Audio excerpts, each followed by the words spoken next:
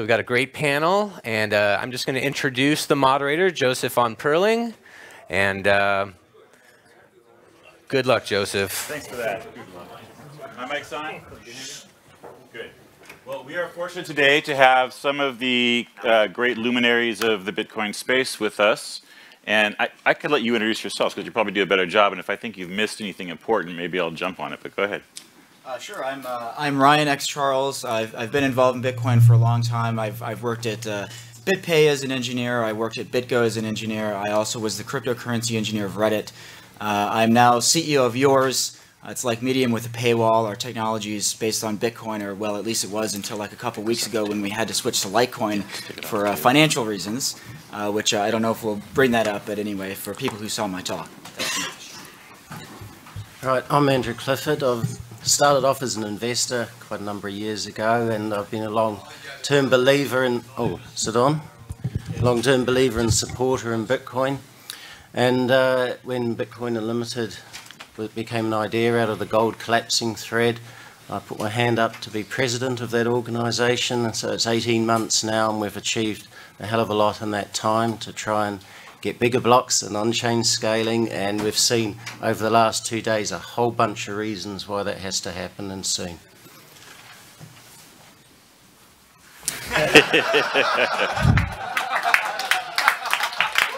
All right. Uh, my name's Jon Matonis. I'm the uh, Vice President of Corporate Strategy for nChain. Uh, before that, I was uh, one of the founding directors uh, of the Bitcoin Foundation in 2012.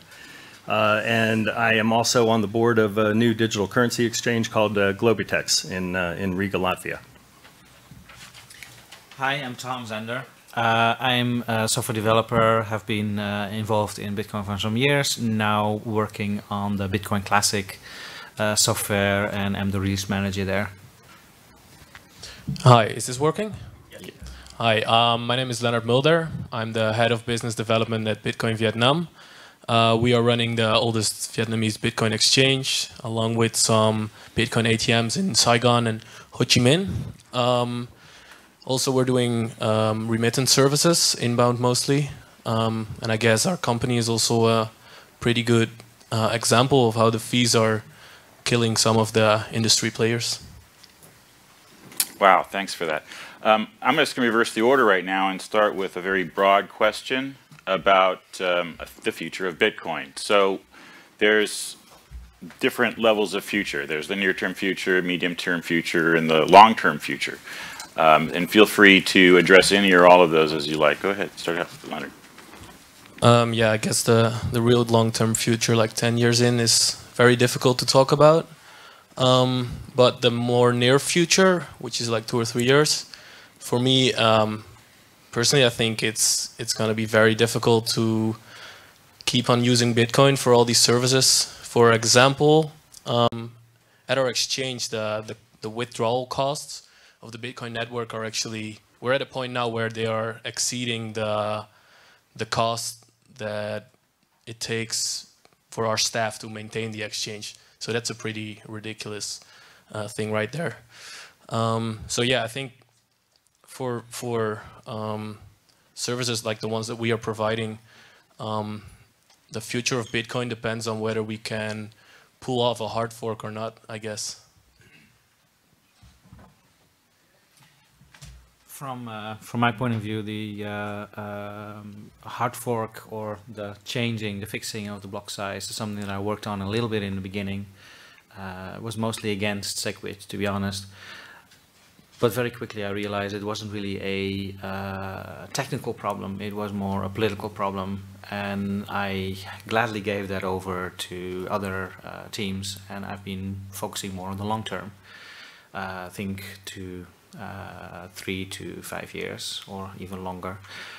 So what I've been doing in, in Bitcoin Classic is uh, working on um, uh, making sure we get to uh, have a documented version of the protocol because that's basically the biggest problem we have right now.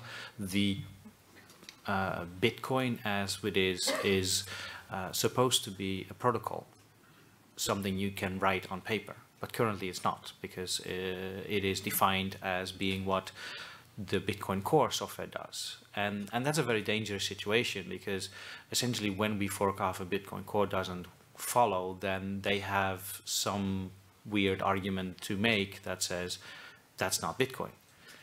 And of course, many of us will disagree with that because it shouldn't be led by one team.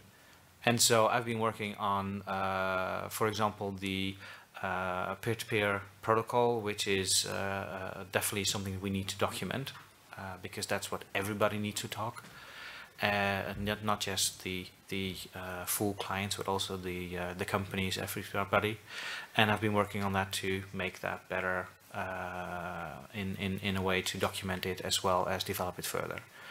Um, there are some other uh, projects on the way that I can uh, point to the website for, for, for more information because I don't want to spend too much time on it, but this was probably the, the highlight. Okay.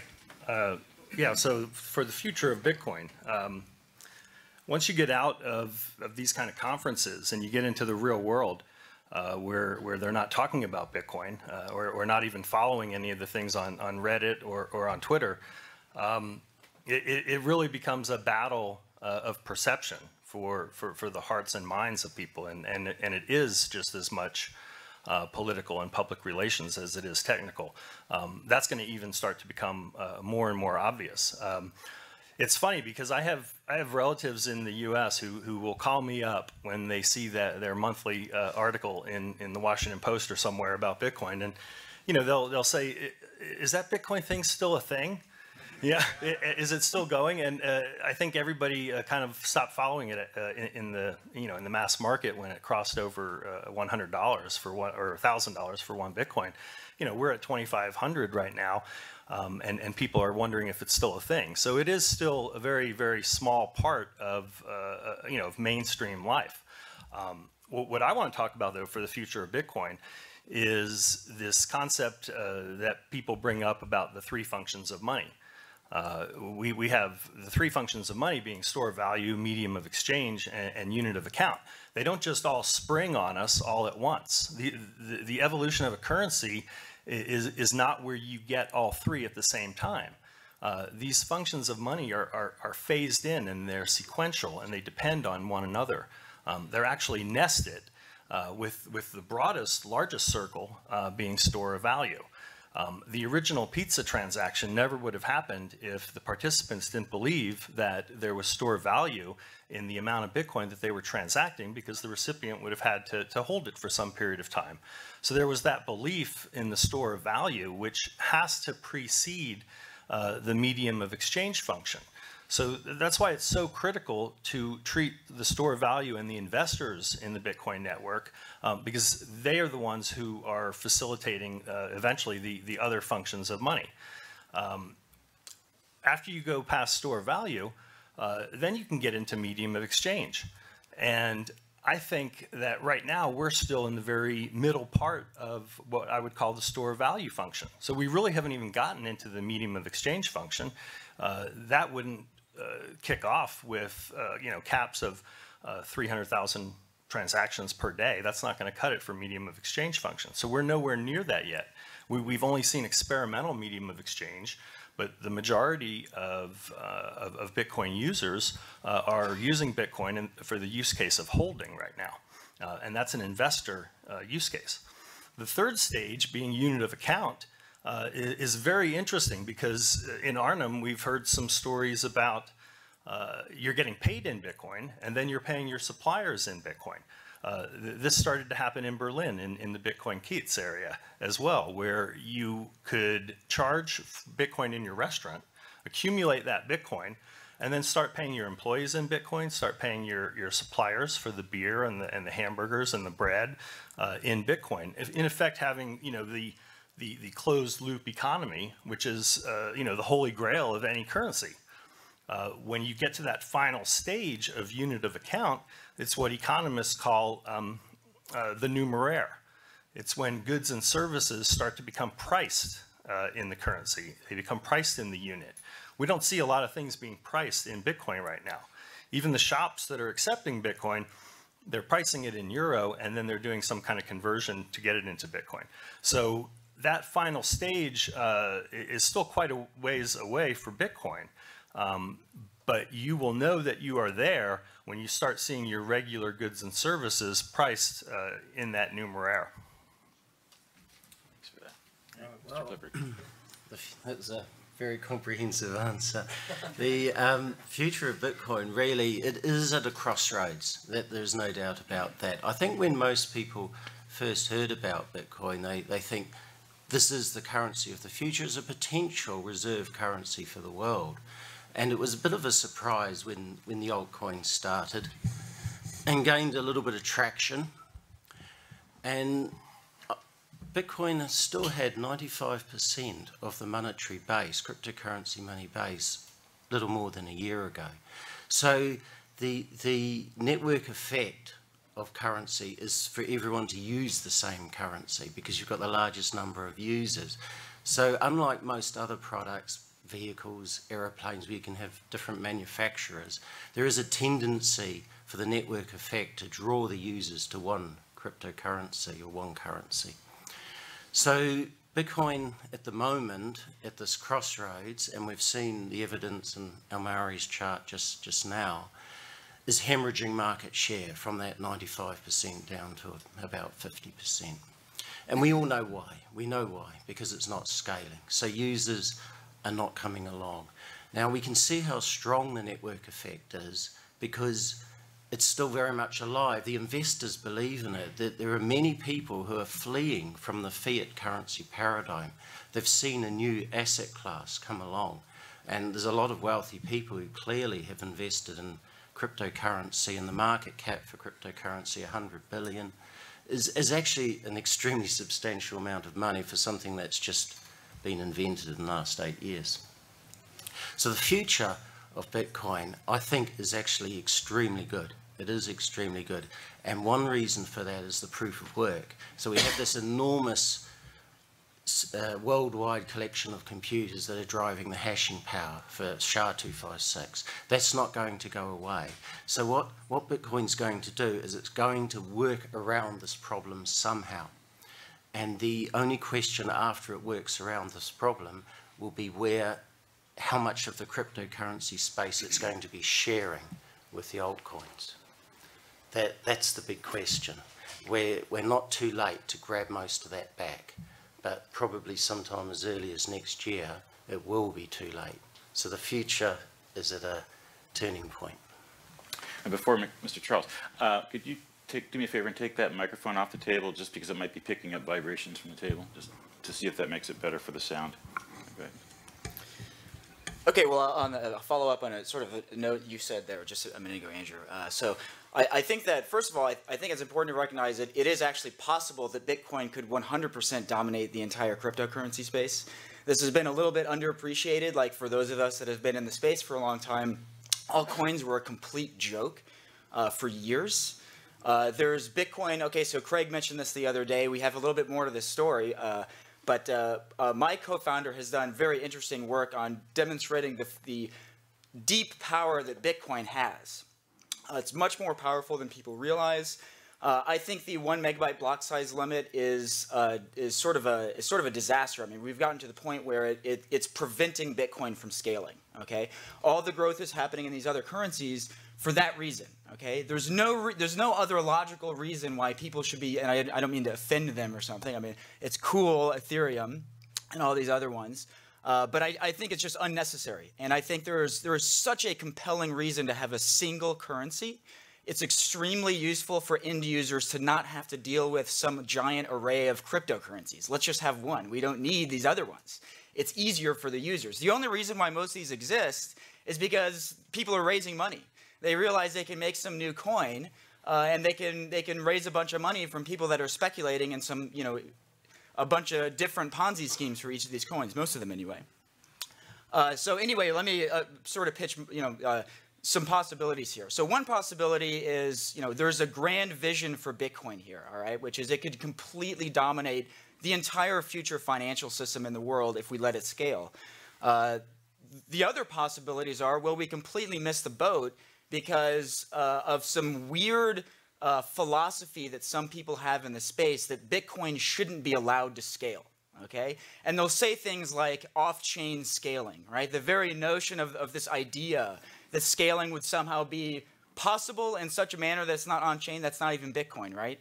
So uh, uh, anyway, there's we're, we're kind of on the same page about that, so we're not allowing those people to, to uh, uh, come back at that argument. But it, seriously, like you know, it, the the very idea that like we're even calling it on-chain scaling, that is scaling Bitcoin, right? This is how you reach reach an audience.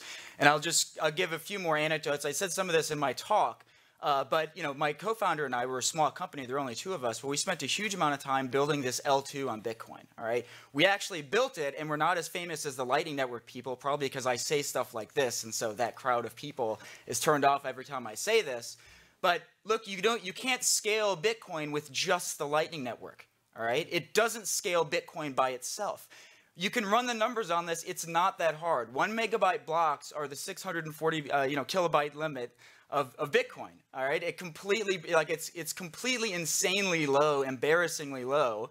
Um, we need far higher blocks. Um, you know, it, so the the number I ran, I presented this in my talk, was in order to send a single transaction to seven billion people, you it would take 30 years. All right, so it's completely impractical to reach the world. I mean, they can't use Lightning because you got you got to have three transactions just to open a channel, right? So uh, uh, anyway, the I would I would pitch it this way. So there are two possibilities here. One is we scale Bitcoin, and the other is we don't. Uh, either way, I'm extremely bullish on crypto, and I'm very bullish on the future, you know, world financial system. So the question is like, to what extent does Bitcoin dominate this, and to what extent it doesn't? I think if we do scale Bitcoin, it stands a very strong chance of being able to completely dominate the entire future world, world financial system, largely due to simply the network effect of money. So if we don't screw it up, uh, it could totally win everything. So anyway, uh, uh, uh you know, go, go big blocks.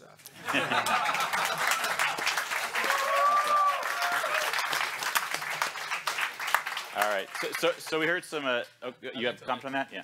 Um, I'd like to add one thing there. Um, like you said, um, we're uh, we're being outcompeted by altcoins now, some to some to some extent. Um, I'd like to add there that if Bitcoin fails, I feel like a lot of people are going to see that as a failed cryptocurrency experiment. So even if an altcoin might take over in the long run, it's it's going to take much longer if if the first mover fails. I think that's worth we've added. So reduction in confidence from that, yeah. Uh, so we had good perspectives of, from a business point of view, from a technical point of view, from an economic and a social and practical point of view. Does anybody? The, the point was made that that uh, on-chain scaling is scaling and anything that's not on-chain is, is not scaling. Is there anybody here that would take issue with that argument? Does everybody agree in the world agree with that? Or, I mean, in this audience, there must be somebody that disagrees, right? Okay, so I'm going to offer you the opportunity to uh, make a comment about that. Well, uh, am I am I on? Yeah, I think the most important thing is that the the the, the basis will keep uh, free for everyone to use.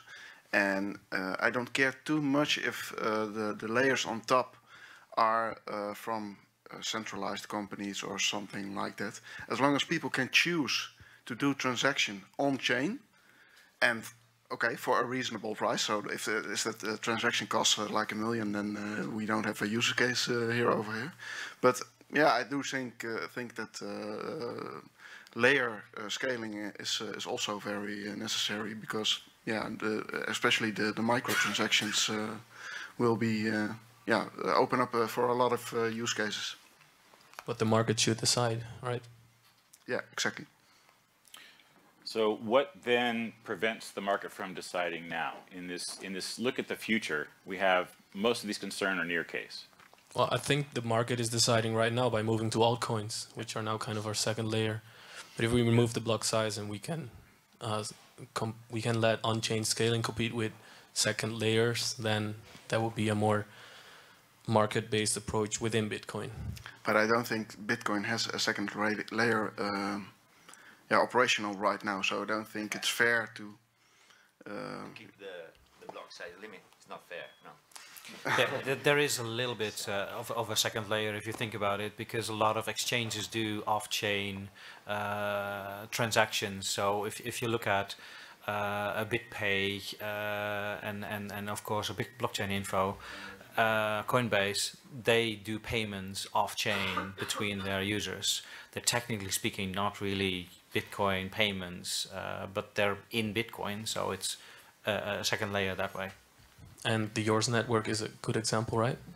Well, yeah. So let me. I'll just speak to that point. So, you know, there's there's a there's a false dichotomy that you have to have one or the other. We're we're not against off-chain scaling for what it's worth. I mean, like I, I think it's good. That's why we spent 14 months of our lives full time building a you know off-chain uh, trustless off-chain payments. So it's a false dichotomy. It's not like it's one or the other. Uh, we can and should have both types of, of scaling.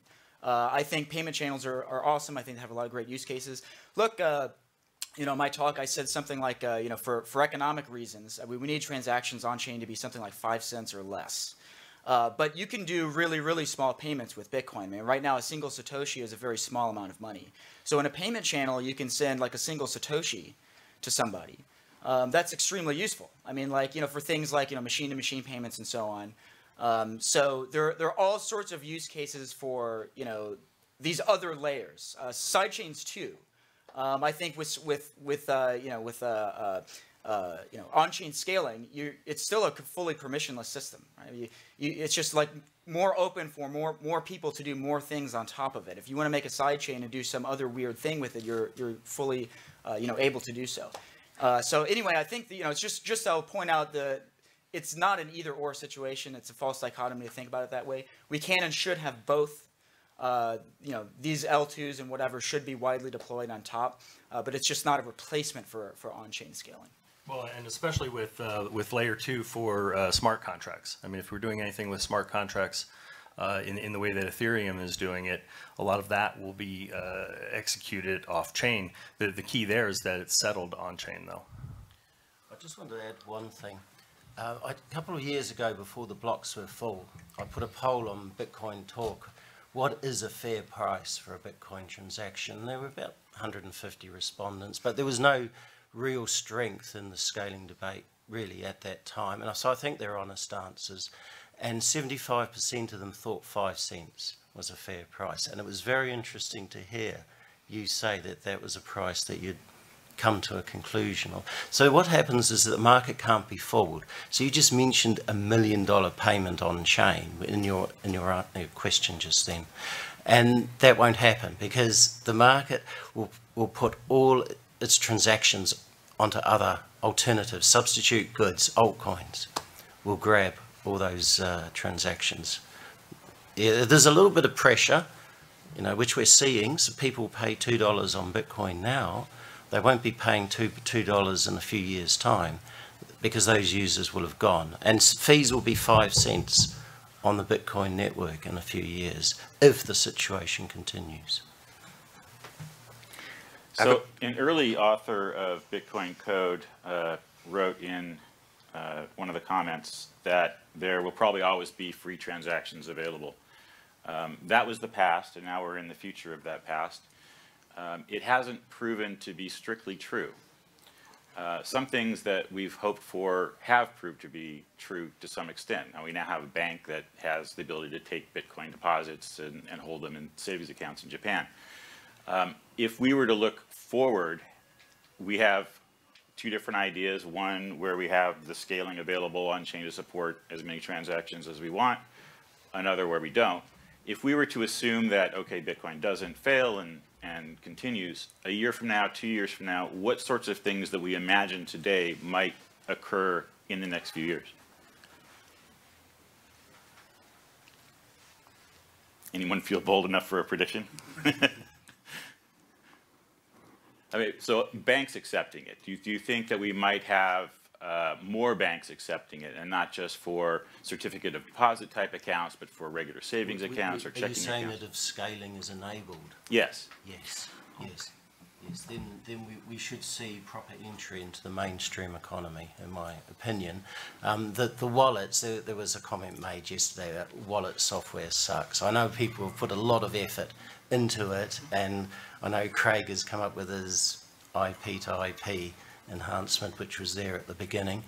Uh, we, we need the, the, the payment uh, me methods to be very much easier for the average person. And once that is achieved and the volume problems go away, then, then the mainstream adoption kicks in, in my opinion.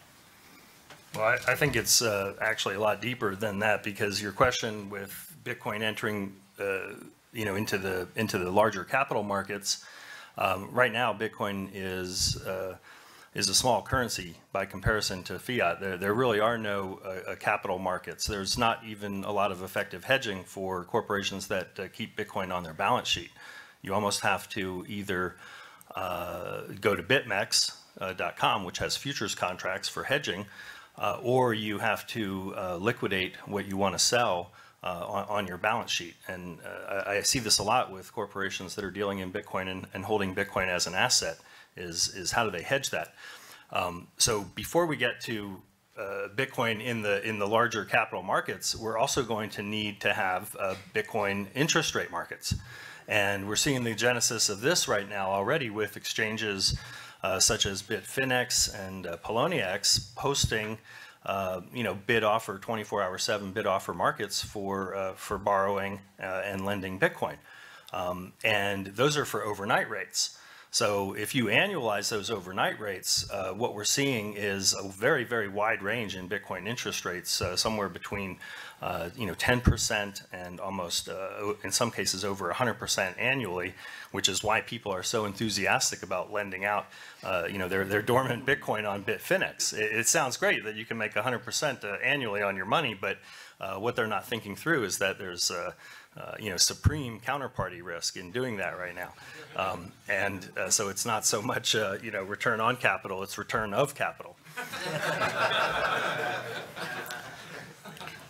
to, to build on that, I think the, the uh, idea of, of uh, a universal uh, money becomes very interesting as well. The, the experiment of Europe and specifically the euro it, it failed mostly, uh, well, I'm, I'm, probably going a little bit too far ahead in, in time to say it's failed.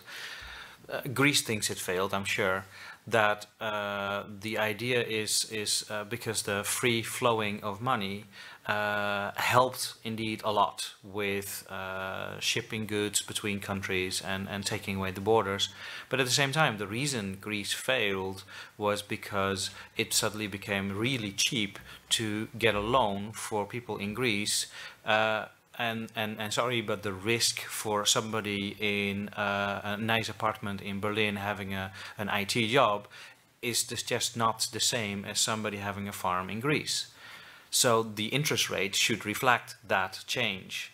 And if you look at Bitcoin, yes, we're going to have a much better way to move between countries, uh, which is very simple, similar to what we've seen the euro accomplish. But at the same time, you can uh, uh, make the uh, payments much more local without there being laws that govern the usage of this money. And so you're going to have banks that can uh, take people's money and, and, you know, make them actually uh, in a safe way we can do with Bitcoin and make them actually give out loans to companies and, and individuals uh, on a very different basis than we've seen with euros and, and other kind of fiat in a much more sane uh, way that I think is going to be uh, a better way to essentially not get cheated by the banks again, because that's a, a very basic thing we've seen in the financial industry right now. Uh, cheating by the banks, yeah.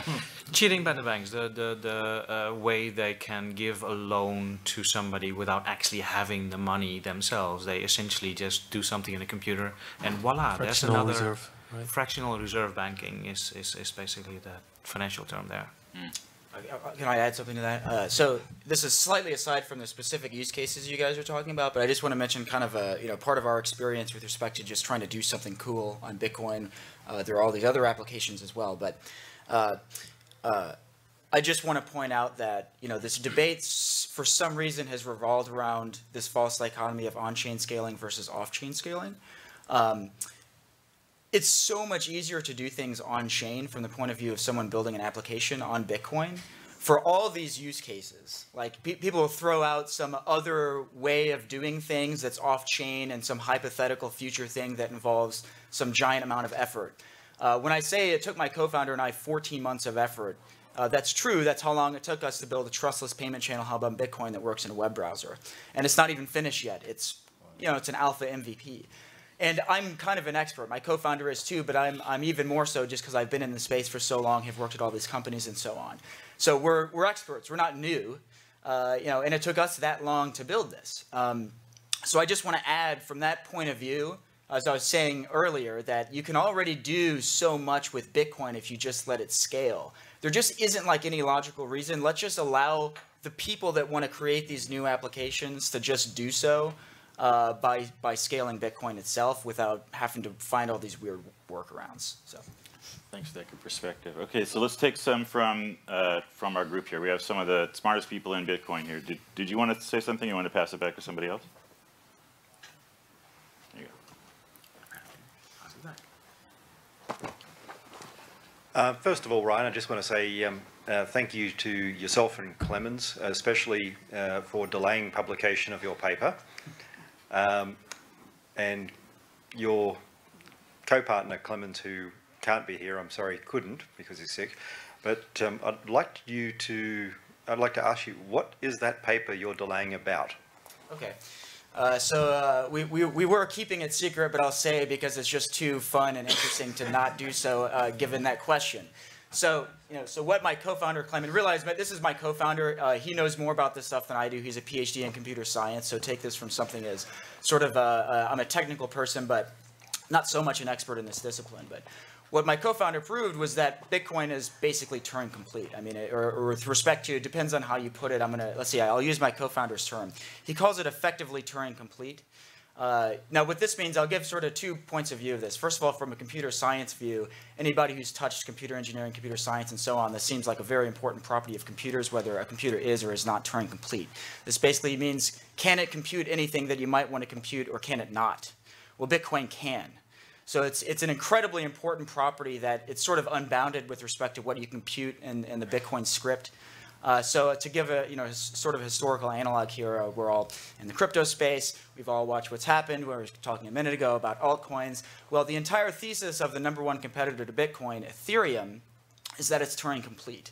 That's the most important property of, of Ethereum. That's sort of why it was invented. Uh, this is the big selling point. This is why it's so cool. It's the world's global computer, and you can do anything you want to do on Ethereum. Uh, but people just don't understand and have completely missed the Turing completeness of Bitcoin. Uh, in fact, I just, I'll, I'll, just mention a few other points about this because, again, it's just too interesting to not do. Uh, the Satoshi white paper talked about Bitcoin as a form of money. Uh, you can send and receive this peer-to-peer -peer digital cash, right? The Bitcoin uh, white paper from Satoshi did not even mention script. I mean, it's not even mentioned in there. This, this was discovered later on by, I think it was Mike Hearn, if somebody with more knowledge can correct me. It was Mike Hearn, maybe some of the other developers, I don't, I don't quite remember. But it, it was sort of discovered because Satoshi didn't even bother to mention it because it was tough enough, I don't know the real reason, but tough enough, I imagine, to explain what the hell Bitcoin was without even mentioning script. So this was just totally missed uh, by, you know, the, the script, the existence of script totally missed for quite a long time. And then the genuine power of script was missed. So again, let's put this in context with things like Ethereum, which is Turing complete. It's like the whole selling point of Ethereum. Do you even really need it? I'm not so sure. Uh, what about things like sidechains? Well, why do you need that? Why do you need a Turing complete sidechain if Bitcoin is already Turing complete? Seems like, why don't we just scale Bitcoin on chain? You can do everything on chain. As I was saying a second ago, it's way, way, way easier too uh, you know, I mean, imagine trying to convince a user you have to send your money from one chain to another or something, right? Like, it's just, it increases the difficulty of developing it. It increases the difficulty of pitching it. And basically, I think if Bitcoin doesn't do it, one of the other ones will. I mean, Ethereum already has an unbounded block size. You can put as much as you want on Ethereum. And the Bitcoin people make fun of it for being, you know, it's having scaling problems. But the reality is it's scaling better than Bitcoin. It might be clogged, but at least it can fill up, or, you know, at least it can, like, have those transactions. Uh, so uh, yeah, anyway, uh, so the, to answer the question, Bitcoin is Turing complete. It's a huge deal. Uh, it's been completely missed. Uh, and uh, you know, you should take note of this. and understand if we just scale Bitcoin that when I say, um, you know, earlier that Bitcoin really could 100% completely dominate the entire future world financial system, and we don't need any of these other altcoins or any of these other financial instruments like PayPal or whatever. You can do it on Bitcoin. I'm being 100% serious, and I actually believe that. And we need to scale Bitcoin uh, in order to uh, allow that possibility to happen. And to clarify, when you say it's uh, Turing complete, it basically means we can have an artificial intelligence living in the block size.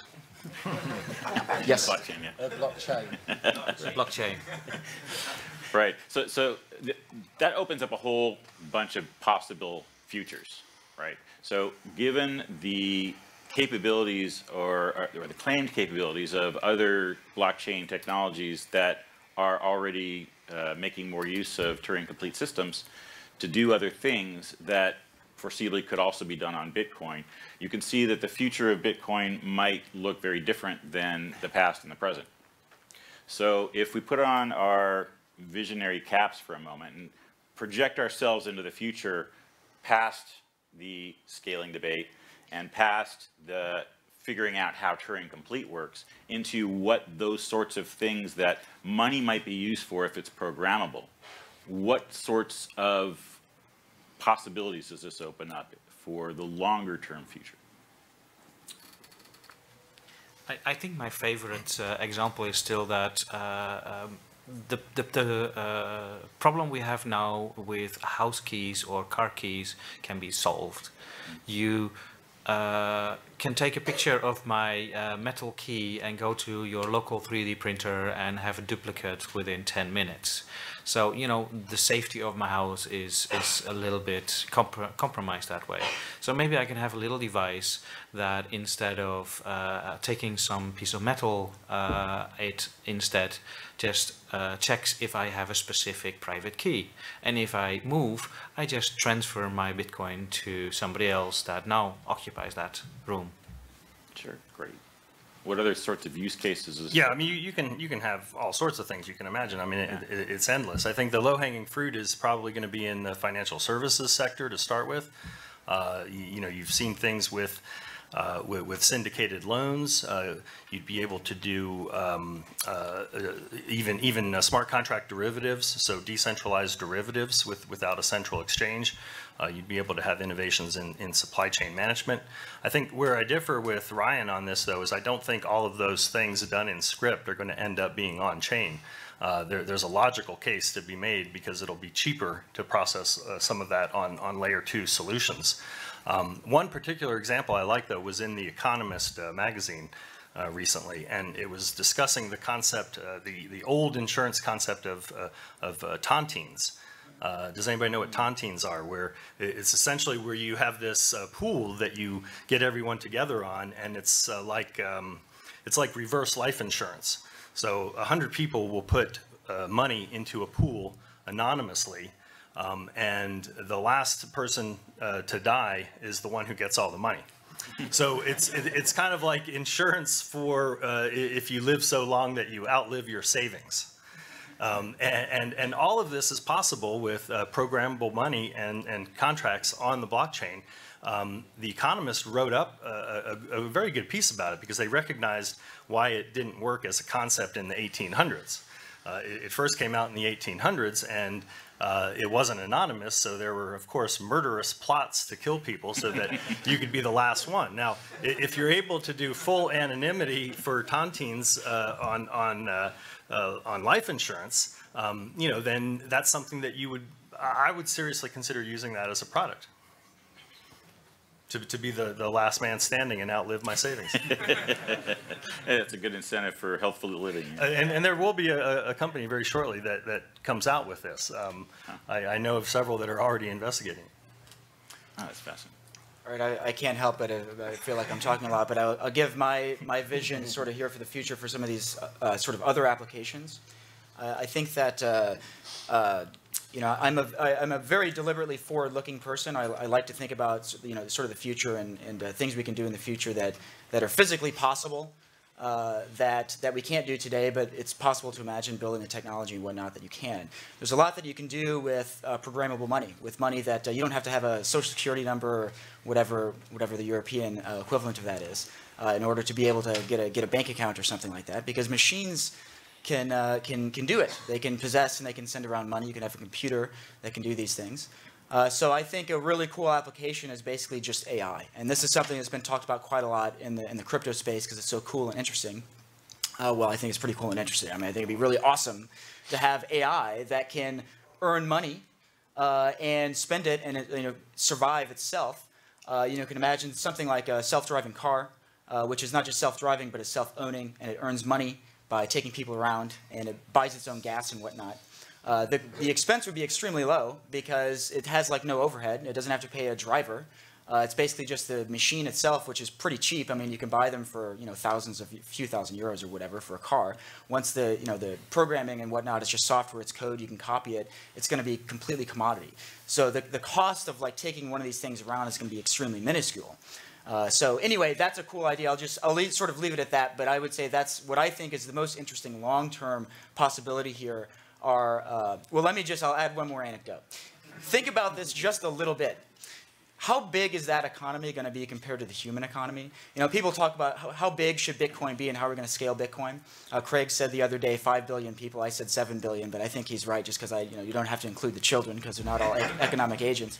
But the number of machines that can exist is a lot more than 5 billion. It's way, way, way, way, way more. And again, I'll, so I'm a former physicist, so I like to think about the actual physical limits of things. The number of economic nodes you could have in the world is a pretty ridiculously large number, right? I mean, what you're real, really limited by is actually the speed of light. Uh, you can't, you know, you know, it's gonna it's gonna take a long time to perform economic, you know, transactions or whatever with people in other star systems. But if you're all on planet Earth, there can be a rather ridiculously large number of economic agents. I mean, just to put sort of a sort of a picture of, a, of what a number would be on this, just consider how many insects there are in the world. It's whatever, however many millions of insects there are per person. There's no reason why you couldn't have just as many robots, and they could all be economic nodes paying each other in Bitcoin. So that's I think, the most interesting uh, long-term application of Bitcoin. Sounds very scary to me. Yeah, well, let's let's hope that yeah, right. The scary part of it is that uh, these uh, these economic agents of the cars buying other cars. Let's just hope that the humans are the early adopters, and that the, the robots get in a little later. Yeah, hello. Yeah, there we go. Um, robots still have to trust. So you mentioned that the uh, strongest network effect for Bitcoin is um, as money, as a unit of count, because people don't want to use you know multiple cryptocurrencies. It gets confusing. I would disagree with that because of the nature of the technology, in that um, in, because of interoperability, we're able to seamlessly transact between cryptocurrencies regardless of what cryptocurrency anyone is using. So I would argue that the strongest network effect is uh, is actually security in this case, and um, um, not not not this effect that you're describing um, for that reason. Well, uh, just just a quick answer to that. You you, you are right, uh, but Bitcoin does have both. With the uh, with the hashing algorithm we're using now is definitely the strongest security. And the seamlessness, the interoperability, um, that does remain to be seen. I mean, we saw, we heard about Polkadot yesterday, and we could have Polkadot coin potential from you know the seamless meta coins. Um, but again, it's another layer, and and it makes programming more complex, and it's probably a few years out. And Bitcoin only needs a few more years to really accelerate the network effect. We've lost time, we've lost a couple of years. We should be a lot bigger than we are now and, already. And the idea that, that you know, 100% uh, uh, market domination, I, I, don't see that happening anytime soon, purely just because of the diversity of belief of people. And I think people will have different ideas about what an ideal economic model is, and, and, and the interoperability further also aids that effect, I would argue. Yeah. Well, I'll, I'll, so uh, I think uh, I, am not sure. I mean, I think I think you're making a fair point. Uh, I think I think it's probably the case that actually network effect does matter the most, and I actually think it probably is uh, really important for Bitcoin security. I mean, I think the security would decline uh, if Bitcoin's popularity decreased. So there's clearly, it, maybe it doesn't matter at the end of the day for Bitcoin specifically just for that reason because the economics or the, the incentives are so well designed that they're, they're pretty linked. Uh, but I do think that money has a strong network effect. I would just say, uh, I hate to use this this phrase, but Google it. Like, you know, there there are there's a lot of arguments, and I say that mostly because it's it's not really like my area of expertise, but there are, there are extensive arguments I would point you to that talk about how you know, money is, has a very strong network effect. Uh, to some extent, though, it's kind of an experiment, and, and it's not the case that we currently have a world currency. We, I'm not sure it's even really fair to say we've ever had one uh, in the world. I mean, the strongest case you could make would be for gold, but I think it was Craig saying the other day that uh, actually I'm not sure we've ever even really had gold because if you think about it, what do most people actually use? Well, they actually use some type of substitute. They, they use certainly in, in modern years it was fiat currency, or not fiat, it would have been, you know, paper uh, backed by gold. Uh, so I'm, I'm, you know, it's it's kind of an argument, but I, I, think you're making a fair point. I'm not really sure, so it's kind of a, I would I would just leave it open and just say that uh, we'll sort of see how it plays out and see whether that, that vision happens. Well, give, give me a chance then. I, I, I, didn't I didn't hear it as a question, but I'll offer my answer anyway.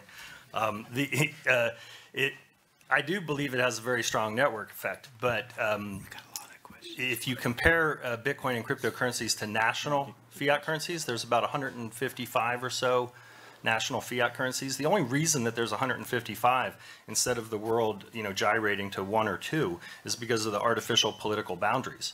So that's not uh, that's not a fair comparison if if you're trying to compare it to the crypto world. If you're looking at it among the 963 cryptocurrencies that are circulating, the natural tendency with with any open global uh, network effect or value transfer protocol, which is what Bitcoin is, is that the world will, will naturally gyrate uh, to, to uh, one or a few. Um, that, that's just the laws of nature. And, and, and the, another way to look at it is with uh, if, if Bitcoin is measuring value, uh, which it is, Bitcoin is not wealth in itself, it measures wealth. Um, we don't have, uh, for, for measuring temperatures, we don't have 600 different ways to measure temperature. We have Fahrenheit, we have Celsius, and we have Kelvin. Maybe there's a fourth one uh, that I'm missing, but we basically have three ways to measure temperature. The world doesn't need 600 different ways to measure temperature, and the world is not going to need 600 different ways to measure value. Um, even languages across the world are, are, are coalescing to, to just a few languages. We're, we, every year we lose about 100 languages in the world. I, I would like to add something there. Um, you said that um, because of the, the easy interoperability between the cryptocurrencies, it's very easy for somebody to, for everybody to uh, converge to one currency. But I, I think that's a bit of a double-edged sword. So they might as well go the other way because of the ease of well, I, I didn't. Yeah, I, I, wasn't saying which would win. I was just saying that it would it would naturally evolve to a few. Right. Actually, I agree there. I think there's going to be a big few, and some of the smaller ones. A lot of the smaller ones are going to die out. But I don't think it's a, a winner takes all situation. But yeah, a couple of big ones, I guess. I I have a, a counterpoint to. Um, to your point here, which is I think there's a mental limit. You know, even though there's seamless interoperability, like the average person is not going to be able to keep in their mind 30 different cryptos that are functioning just as money. And uh, so I think one to a few is, is the mental limit. I think I think for these individuals, uh, I think you're right. They're not going to have 30 different types of money, but there'll be different people that value different types of money in this case. And you you use the uh, uh, the the um, um, fiat currencies as an example. Uh, you know, through the history of, of, of, money, a lot of the time uh, we're forced to use a particular fiat currency. And now we're in a case where we have the freedom to choose. And I think that people will make different choices. And for some people are Ethereum maximalists and some people are Bitcoin maximalists and, and so forth. And as long as that is true and as long as we have that diversity of a belief, I think, I think that's going to take a long time to converge. I, I, think the point is a bit more of when we say we have uh, Bitcoin taken 100%, it's that 100% of the population using money will support and, and be able to transact in Bitcoin. So it, sure, they might have something else, and you know their kids in school might start their own coin. I think the main reason why we would have more than one is if we move to Mars, because the system doesn't work uh, between planets. So then we have two coins and an exchange between them.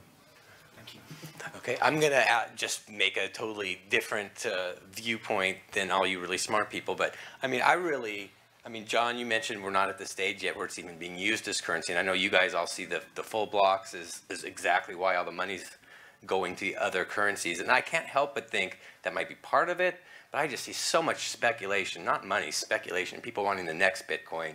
You know, Ethereum had gone up like crazy over a year ago already. And um, I just can't help but think that's part of it, that it's not just the financial, I mean, the money properties. Um, I don't know. Well, I mean, Ethereum's only use case is, is for buying ICOs, really. I mean, I don't know any other thing you can do with Ethereum. I, That's I- the killer app for Ethereum. I disagree there. I don't want to, again, I don't want to be a, an Ethereum shill here, but um, I mean, as of now, the Ethereum network is very secure and the payments are faster and easier. So there's a use case, money, right? But, but what transactions are being done with that? Well, I know a lot of people that are doing transactions, and if actually if you look at the chart, there are, there are being more transactions done right now than there are in Bitcoin, I believe, on Ethereum network. But not for, not for buying things. Not I don't for think. purchasing How do you know that? Well, I I don't, I don't- see it. I don't know. Uh, I don't see Bitcoin Okay. payments being made either. Okay, we got, let's stick with someone with a mic. I know every, there's a lot of talk. There's a company named uh, Nvidia, and they accept Bitcoin, not Ethereum, same as other companies, many major companies. But actually, uh, the problem is uh, Ethereum just going up and down, and uh, all the applications which provide you, you, you will see, receive alert messages. Just for a second. major drop, major up, Okay. major drop, major up. And the uh, example that you provided about centigrade and Fahrenheit and linguistics, it, it can't be true because uh, uh, talking of linguistics, we have inter-language uh, links. Uh, so we can have the different standards and inter uh, standards, you know, in between inter-standard links. And there is a standard organization named SDO. We need something like that to organize all these things, I think.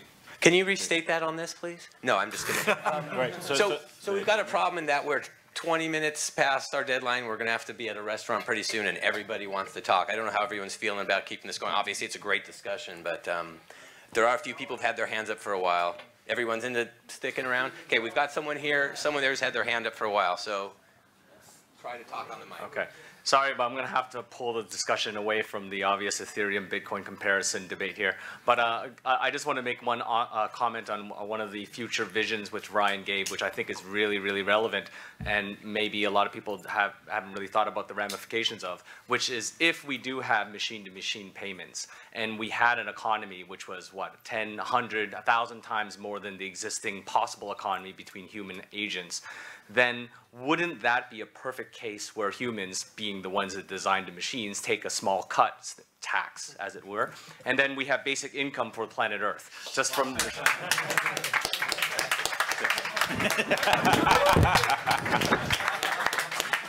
my hat. That's my hat.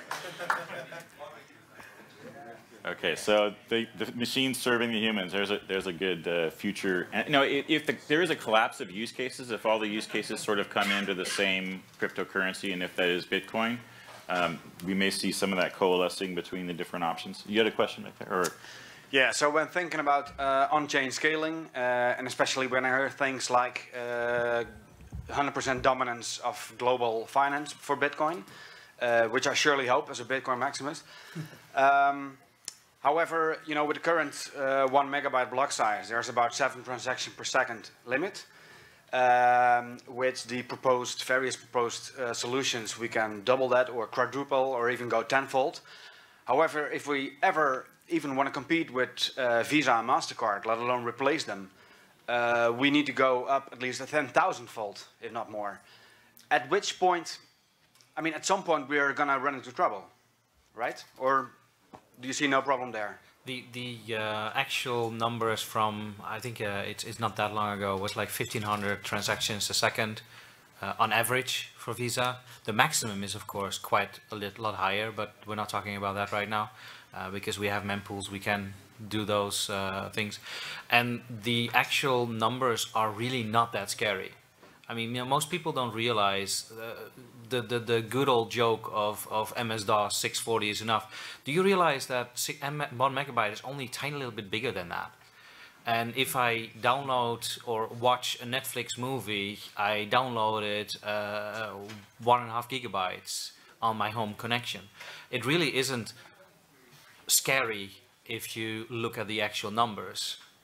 Sure, I always say um, once the one megabyte limit was installed, since that moment, I mean, everybody's internet connection and storage space has been gone up many factors, and the block size limit hasn't. But still, um, do I understand correctly that you think even if 100% of all global payments would go on the blockchain, it's still not a problem? Okay, that's a great question. Even if 100% were on the blockchain, is it still not a problem? I'm going to get an answer from everybody. And then um, my stomach is grumbling. I don't know about the rest of you. But once someone talks about food, I start to think about it, and everything else is distracting. So I want to hear if everything's on chain, what else can we do? Okay. Uh, let me, uh, I'll just first say, I mean, that's a fine sort of question. Uh, but I'll just say that, as I was saying earlier, it is a false dichotomy to think it has to be one or the other. Uh, just be, even if Bitcoin is the sort of the, the you know foundation of the future world financial system, it doesn't mean literally every transaction of any kind whatsoever is always an on-chain Bitcoin transaction. Uh, there are other things you can do. These other layers can and will exist. Could it be? Could it be on-chain? Yes. Yes. Yes, I do. The- But not there you go. Let me, but let me, and I do think the answer is yes. Okay, even if you could, I, I don't think it will though, because like some, I think maybe Jon was say, like it's it's going to be cheaper in some cases to just not. Uh, it doesn't mean fees are going to be zero necessarily. Um, but to just back up the point though, there's another thing. Again, I think this has been like largely missed in the debate, so it, it deserves repeating. Um, today, you can buy a computer that can process like the world's transactions on Bitcoin. I mean, like it's it's not some weird impossible goal. Uh, it is absolutely doable today with technology that's currently available, and the only problem is it's a little bit expensive. Oh, that's great. Now, Mr. Clifford, would you want to respond to that? Yes, I I think the, the other thing is to think that we're, that's still 20 years out, you know, assuming previous growth. And Moore's law is, is still holding true, and there's a number of other laws for, for bandwidth and, and other things. So, so we're not talking about taking ridiculous volumes today, and as we've just seen, some, some of the machines today have, have, have good enough spec, but it's a problem for tomorrow. Let's deal with today's problems. Right. Yeah, I, I, um, I would say that uh, it theoretically uh, it, it would be possible, but not today. And the, asking the question is a little bit like the uh, you know the person who said we're not going to be able to get everybody having a phone on the internet. Uh, we're only at the period of time of, of you know 1994, 95 uh, or earlier with respect to Bitcoin. So we don't know the answers that are going to come up. Uh, one of the things that Vitalik said about Ethereum is that um, he spends a majority of his time, 80, 90%, figuring out uh, solutions to sharding um, and, and whether that's possible or not. Uh, a lot of people don't even think it's possible. So we don't know the answers now on, uh, uh, on the way to solve this, just like they didn't know the answers on how you'd get everybody on the internet with a mobile phone. Wow, thanks for that. Mr. Zander, closing comments on the future. The um, the idea of, of putting everything on chain uh, depends a lot on, on validation speed, and this is something I've been uh, researching quite a lot over the last couple of months. Uh, first of all, I, I did a blog based on a, uh, a video uh, that Roger Ver of Bitcoin.com made, where he basically did a run of uh, doing a first blockchain, which is validating all the transactions, actually counted how many transactions he did, etc. And um, I think we've gone in a year to uh, take that, that, that number we had back then to almost 10 times as many because the software just wasn't you know optimized for it and and I've been optimizing and other people have as well. And so the the speed with which we are increasing is also quite impressive. So doing the validation doing the the sending of data and all that stuff it's not going to be today but we have like 10 20 years to reach it I, and I'm really sorry. Um, the organizers are telling me we're a half hour behind schedule and we got to get to dinner. So I'm, I apologize unless you want to say something for like 30 Uh, seconds. just really fast. Okay, the the question. I guess it's it's an in, it's an interesting question. It's not for me because I'm not very tech savvy, but it's for me it's an irrelevant question because either we can or we can't. Doesn't matter. We should push for it because it's it's the best thing we have right now to push for. Okay, so that was some great food for thought. Let's give him a hand. And food for the body next. All right, you guys.